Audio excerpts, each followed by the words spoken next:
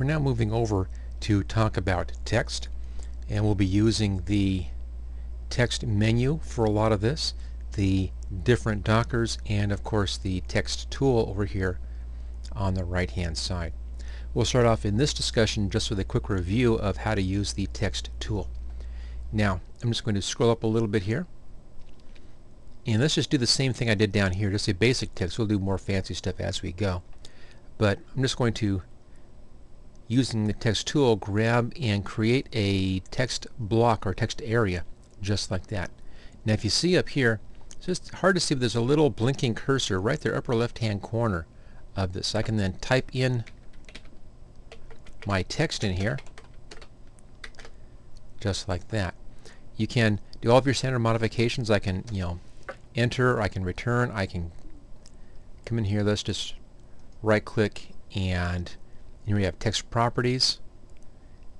We can align, straighten our text, we can change our case in here, upper lowercase, spell check, our grammar check thesaurus, edit the text. So we have all kinds of options in here for working with our text. Now I don't know what kind of house plant this particular plant is. I probably should look that up before the next video.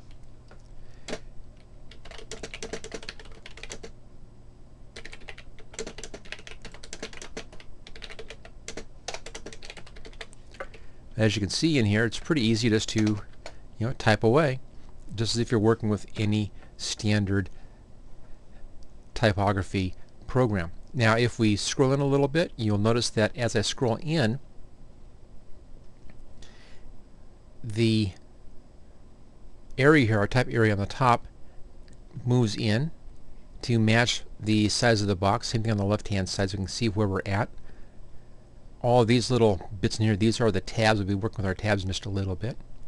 And as I pull the box in, the type automatically reconforms to match the box. There we go. Let's pull it back out again. Let's just select that type in here and I'll choose a different typeface and notice you can have different typefaces in the same type box multiple typefaces in the same type box let's change the type size on this. Notice as I roll over these I get a sample of what that type is going to look like. I don't have to actually select that yet. I can just roll over it and take a look and see if I like the look of that. If I do just click and it then sets that in place. We also, of course, can come over here and change the type style. And just like the size, I can just roll over these and I get a preview right there on the page of what the text is going to look like in this particular typeface before I even choose a typeface. So it allows me to quickly just kind of scroll down like this and try out a whole bunch of different typefaces with my actual text on the page. Just make sure you have your text selected when you're doing this.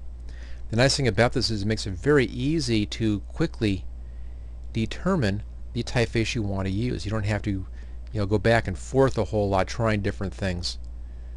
You can just scroll down and see how they look. So it's very easy, as you can see here, to work with text inside of the Corel program. It actually is my favorite program for working with text out of all the different drawing programs out there. This is the one that I tend to like using the most when I'm doing this kind of type work. Just choose a nice, nice fat typeface in there. So there we go, all of our standard type tools. Of course, it can adjust the position, the object size, the rotation. All of our standard options are up here as well. If we move on to a different tool such as the pick tool over here and I come back I still can control the bounding box here with the pick tool. If I go back to the type tool or text tool I can then come back in and edit my text any way I want to. So it's very easy to work back and forth. Notice as I do this it automatically brings back up the proper properties box up here across the top for working with the type. So again, that's just a review then of working with adding and editing our type. Let's now move on and begin taking a look at some of the additional tools and functions available to us for working with type inside of CorelDRAW. Thank you for watching my video. I hope you found it useful. If you like this video, click on the like button below to let others know. You can click the subscribe button so you don't miss any of my videos in the future. I'm frequently uploading new training videos. Don't forget to check out my website at howtogurus.com. You can share this video with your friends and coworkers. Just click on share and then click on the social media buttons. Feel free to comment on my videos. I try to answer all comments as quickly as I can.